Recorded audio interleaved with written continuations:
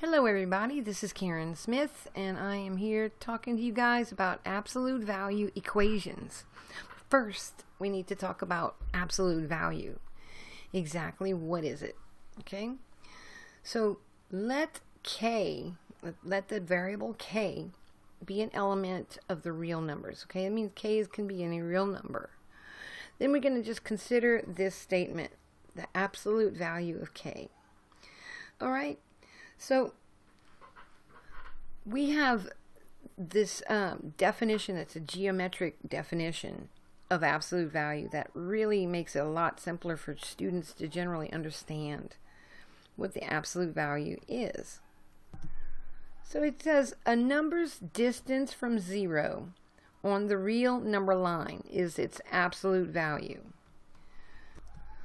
So its absolute value basically it's just a distance. Now, note this. Remember that distances cannot be negative, right? You always travel a positive number of miles when you drive in your car. Even though you go back and then forth to and from the store, you haven't untraveled any of the miles you have traveled already. So, um, that's just something to keep in mind. Distance must be positive. So let's take a look at this now. Absolute value of k is equal to 6. I'm asking you, what are some possible values for this statement, for k? Okay, what are possible values for k? So, let's think about this. We just said that a number's distance is its absolute value from zero, excuse me. A number's distance from zero on the number line is its absolute value. So the absolute value of k is 6. So k is 6 units away from 0. What does this mean? Check it out. This is what this means, okay? Here we are, and if you look at the number line, then we have negative 6, which is 6 units away from 0. 1, 2, 3, 4, 5, 6 here. And we also have the number positive 6 okay, which is also six units away in the positive direction from zero. So we can't just say k is equal to 6, okay? Remember, we're asked when it's asking you what is the absolute value of k or a variable inside the absolute value symbol. Remember this that you have two possibilities here. We can have negative 6 in there or we can have 6. So a negative 6 or a 6, right? Let me write that larger here. k can equal that. So those are my possible values for k because, because what? Because the absolute value of negative 6 is equal to 6 and the absolute value of 6 is also equal to 6. Okay? Okay, so let's take a look at solving absolute value equations using this information. Okay? So if you look in, in the little thought bubble that I have up there, okay, an absolute value equation, okay, absolute value of ax plus b is equal to c. Similar to this example I have written here, right next to it, okay. All right, so this can be rewritten, okay, as two separate equations. Okay, and similar to what's written in the bubble there. Okay, ax plus b can equal to positive c. ax plus b can equal to negative c. Now, when they did this rewrite, okay, here's my inside of the absolute value, right? ax plus b. I want you guys to notice that the left-hand side of the two separate, the separated equations these derived equations, we derive them from the problem, right, from absolute value. Notice ax plus b did not change. It's the same on the left side. So basically we take the inside of the absolute value symbol and write it as is twice, okay? So it stays the same, okay? So you don't change inside the absolute value. What sign changes is the right side of that. So if you have your absolute value on the left and your constant on the right, that C changed. we have the negative, or let's say the opposite of the value and the original value that it's set equal to. So let's do let's do this example here. Okay, we have the absolute value of x minus 2 is equal to 8. Okay, so I'm going to follow this formula this that I have written here very closely. And so what we're going to do is separate this out into two separate linear equations. We'll write out the inside of the absolute value, the x minus 2, as is twice. So we'll essentially we'll have we'll have x minus 2 is equal to, and that first thing will be, we'll go along with this definition the way it's written. So we'll have the, the 8 as it is, and then, or we'll have x minus 2 as is, right, didn't change, equal to the opposite of the right hand side. Okay? Only the right side changes. And now, thought bubble 2, okay? Second part, we're just going to solve these two equations independently, right? And we're going to end up with our two solutions. Okay, so the left-hand side one, we're going to add 2 to both sides, right? Add 2, add 2. Okay, these guys cancel, and x then is equal to 10 for the first solution. Okay, so we'll add 2 on the other one. All right, these cancel, and x then is equal to negative 6 so 10 and negative 6 would be our two solutions. Okay? So, um, here we go. And so to verify, how do we check these solutions? Okay? To check them, we have to check them both independently. Okay? You can't check one or the other. Both of the solutions have to be correct. Okay? So, um, you just go back in plugins, for example, the 10, okay? So you want to go here, let me change colors so it can like separate it a little bit. Go back to this one. Okay, so if we're checking our answer, so for example, for x equal to 10, I'm going to go to absolute value x minus 2 equal to 8. I want to make sure is true or false. Okay, this is supposed to be a oh, 0. Absolute value of 10 minus 2 is equal to 8. Okay, absolute value 10 minus 2 is 8. Okay, so you just kind of simplify it down steps, okay? And so 8 is equal to 8. That's true. Okay, I should probably leave some room for my uh, equal sign. Okay, so true statement here. Okay, so this one's good. So now we want to check the negative 6, okay? So for x equal to negative 6. All right, so absolute value of negative 6 minus 2 equal to 8. All right, so absolute value of negative 8 equal to 8. True statement, right? Because 8 is equal to 8. Yay. So we got the right answer. If you guys really get into checking your solutions that you get, you basically have a key and you can check your own problems on the tests before you submit your work. That's smart. So learn how to check your work, okay? If you're confused about that, please ask me. Let's look at some of these other examples I have up here. Okay, so you want to be sure to get the absolute value part of the equation by itself on one side of the equal sign before you try to separate it out like we just did in that example. Okay, so I just want to uh, look at some examples now with you. Let's go through that, and I will remind you of this caution in a minute. But let's take a look at some of the things I have here, okay? And uh, let's see, let me put my spare problems over there.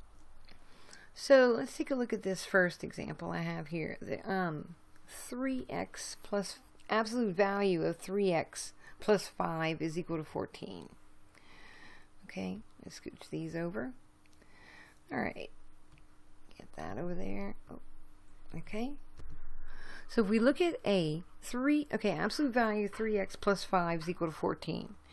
So now, we definitely have the absolute value symbols by themselves on one side of the equal sign. This is exactly what they're talking about, okay?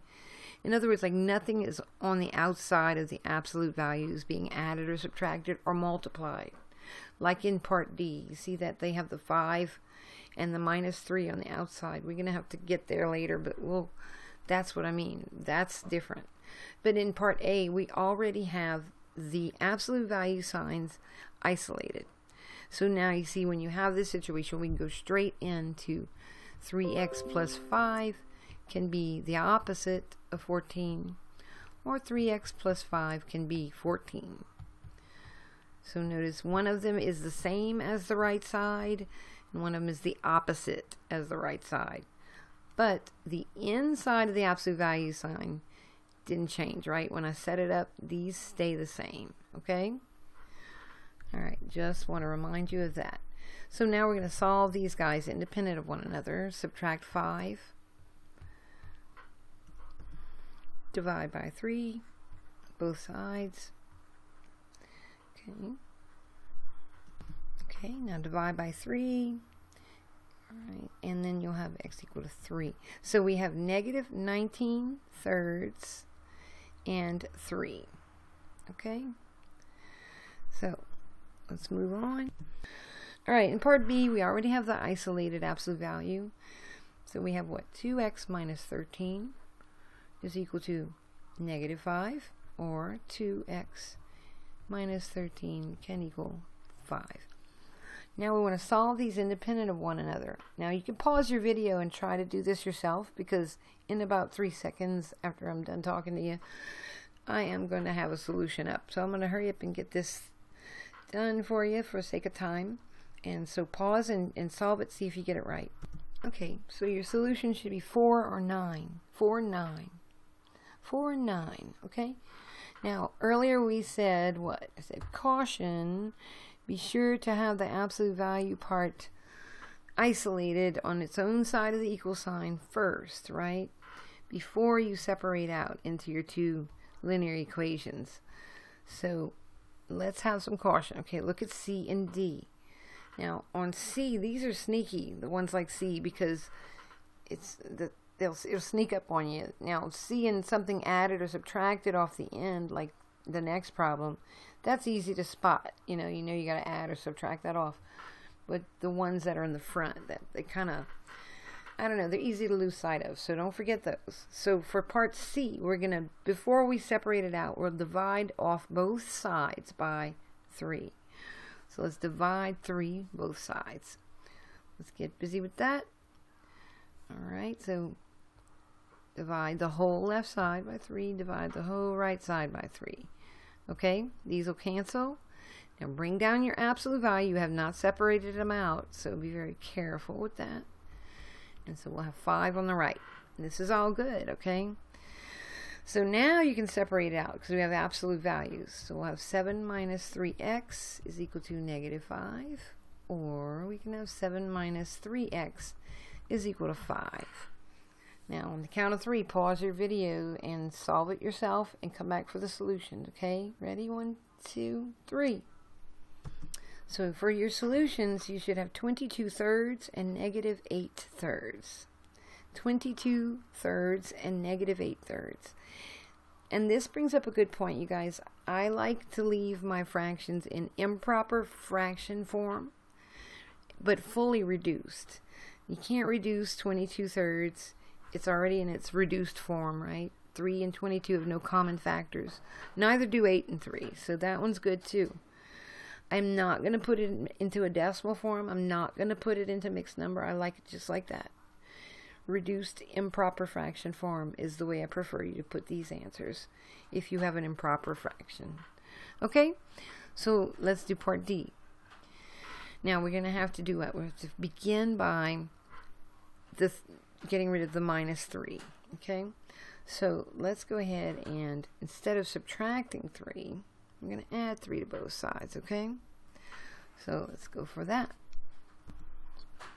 Okay, so there we are. We do that. Bring down the rest of that side. 5 times absolute value, 3x minus 6.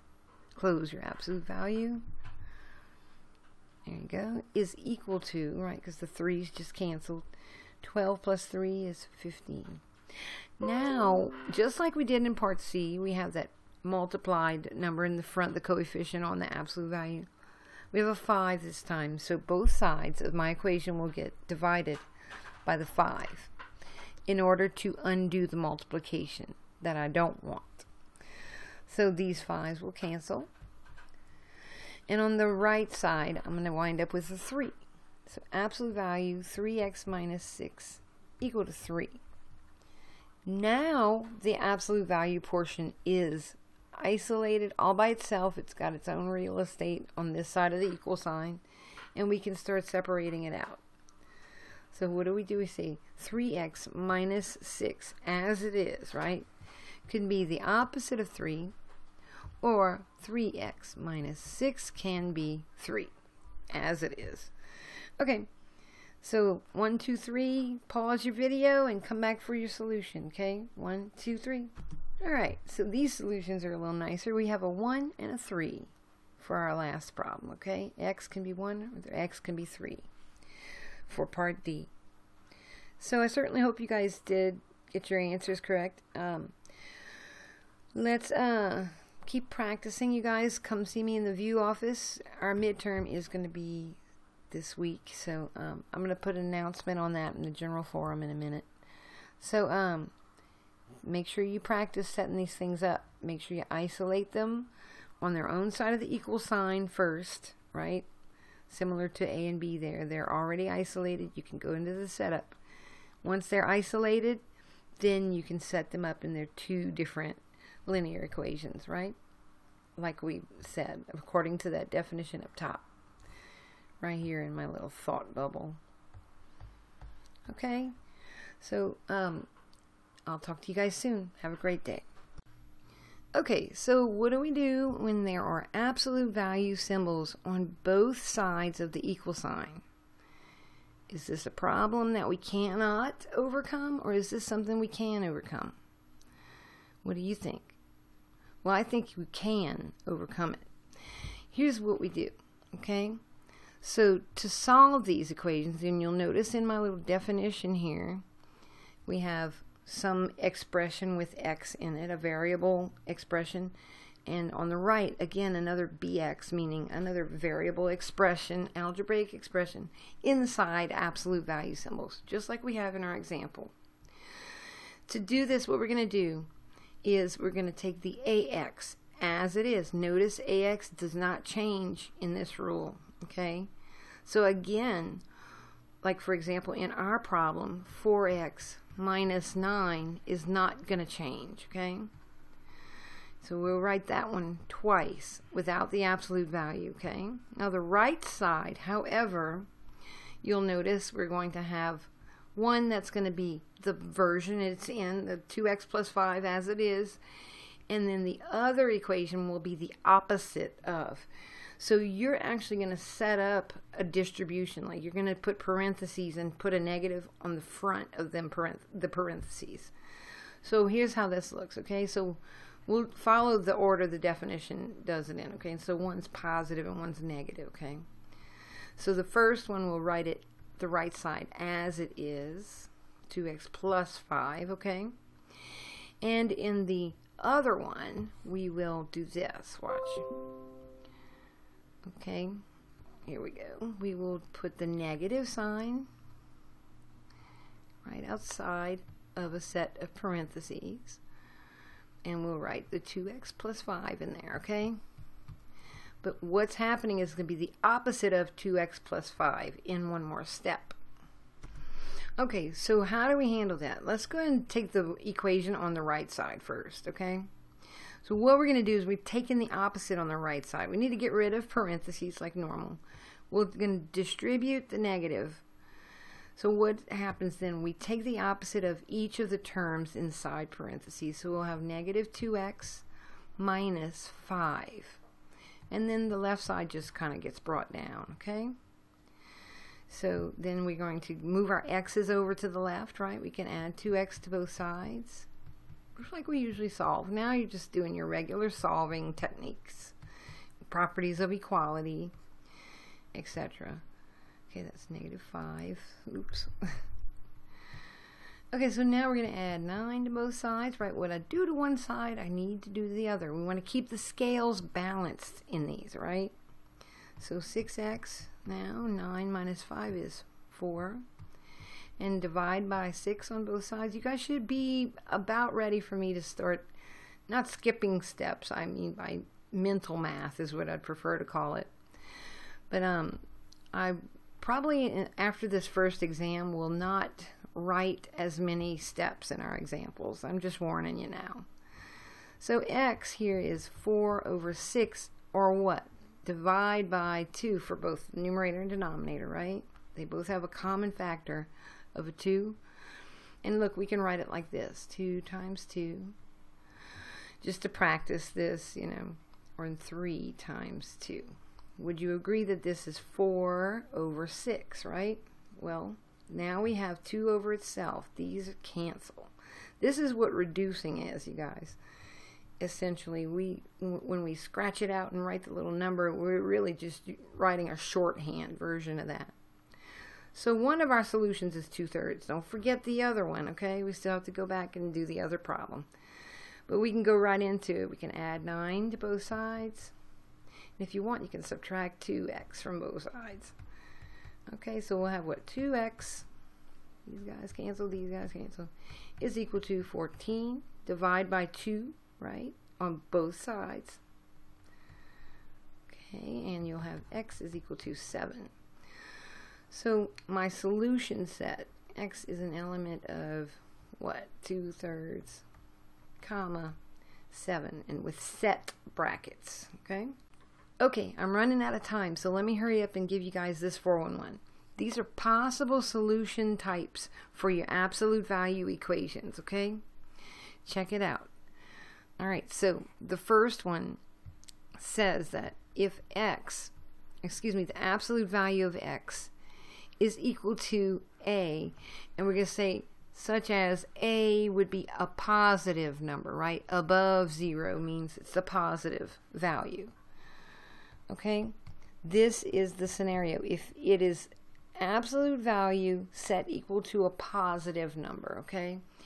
And what you can do here is kind of just with a little note, let's just make a little tiny note. We can put a little tiny plus sign, okay?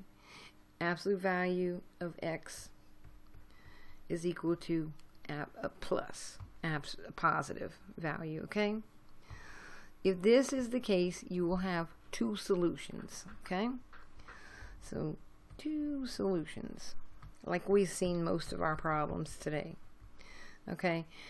If we have absolute value of x is equal to, okay, notice absolute value is by itself, right?